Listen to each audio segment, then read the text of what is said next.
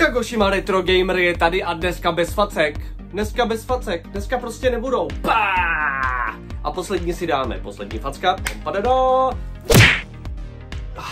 Tak a máme to za sebou.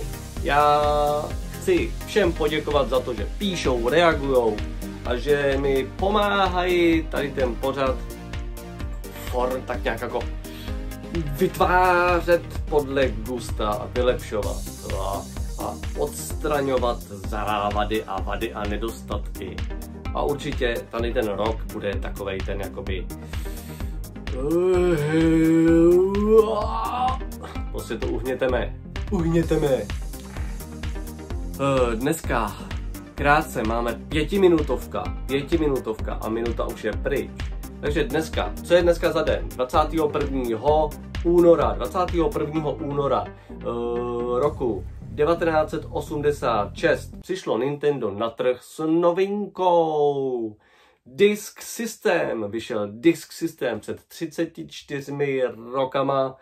Tento den se dočkali fanoušci herní zábavy od společnosti Nintendo nového systému. A byl to systém, který přinesl spoustu výhod. Uh, já bych se asi k systému jednou chtěl uh, vyjádřit ve speciálním delším dílu a dneska jenom zkráceně. Uh, disk systém byla floppy mechanika k Famiconu. Krabice tato.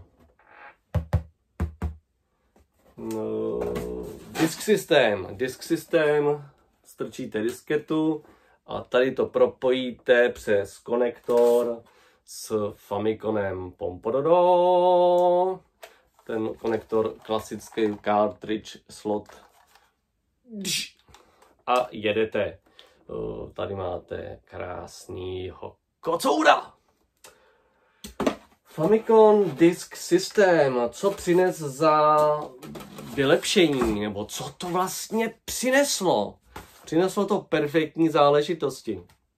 Za prvý, mělo to větší kapacitu než klasický cartridge.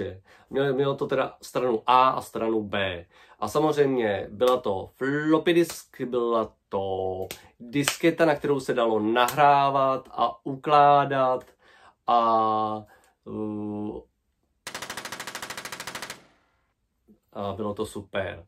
Eh, po celém Japonsku byly turnikety, turnikety na stahování her a tím to vlastně, to byla taková zásadní, zásadní novinka, že se nemuseli kupovat nové hry. Ta hra na cartridge stála tenkrát asi 5000 jenů, což znamená 1000, 1000 korun, zatímco disketa stála 2000 nebo 3000 jenů. Takže v podstatě hodně, hodně, hodně levnější. A další výhoda, když vás hra přestala bavit, tak jste si prostě třeba na stranu B zašli do turniketu stáhnout novou hru a ta vás stála jenom 500 jenů. Takže za stovku jste si pořídili třeba Metroida a mohli jste si hrát. To je, to je perfektní, perfektní služba. V té době nevýdaná. Když jste si koupili uh, prostě cartridge za 5000, no a, a měli jste cartridge za 5000 a museli jste si koupit novou, že jo, další hru. A tady to koupili jste si disketu, a když vás přestala bavit, tak jste si na jednu hru mohli, aby je jakoby tu, tu, tak jste si stáhli novou hru. Tady máme třeba Mario, Mario 2. Mario 2 byla taková jakoby pecka na Nintendo Disk System. Vyšla jenom na disketě původně, samozřejmě potom vyšla na různých kolekcích a tak dále. Taky jsem slyšel, že uh, disketový uh, floppy disk verze her neměly pěkný manuály. Nebo že manuály neměly vůbec. Nesmysl, přátelé. Když se podíváte na manuál, který třeba měl Green Beret, tak je to knížka jako víno. Knížka jako víno. Jo, máte tam, uh, je to super, super, máte tam příběh, uh, máte tam o té hře všechno možný, uh, reklama na další hry vzadu. A není to jakoby, není to bošklivý, je to perfektní. Krásná, krásná knížečka, manuálek. No, že tady to taky není pravda, jo. Uh,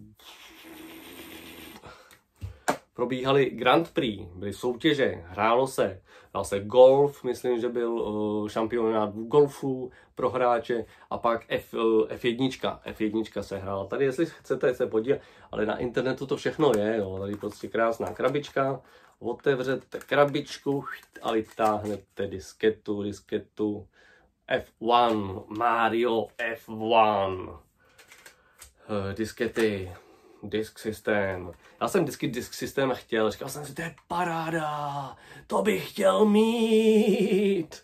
No a už to je doma. Uh, nebudu to rozebírat do hloubky, na to si uděláme další díl. Teda takhle, já se vás zeptám, chcete speciální díl o Super, teda o Famicom disk systému, kde jsme si pověděli, ukázali, uh, jak to vypadalo, jak se stahovalo a nějaký ty informace o tom, jak to v Japonsku proběhlo, tady ta uh, Famicom disk systém mm, doba. Uh, dneska asi ukončím to. Chtěl jsem jenom krátký video, pět minut, už jsme na šesti minutách, takže už ono to prostě letí. Je to, je to rychlovka, ani jsem se nenapil kafe dneska, ale máme to dneska bez facek, je to super, přátelé. Napište mi pod video, uh, chcete letos speciální video o Famicom Disk systému. Ono jich je asi na uh, internetu dost, takže možná, že to nebude potřeba. Já teďka připravuju další video o jedné hře a potom budeme mít speciální video. To, já myslím, že toho je dost a kdybyste chtěli, tak se taky dá. Já dohledám nějaký, uh, nějaký speciality, který třeba nikde jinde nebo nejsou tak známí. A až to bude, tak to připravím. Takže přátelé, krásný den, je pátek, do práce, z práce a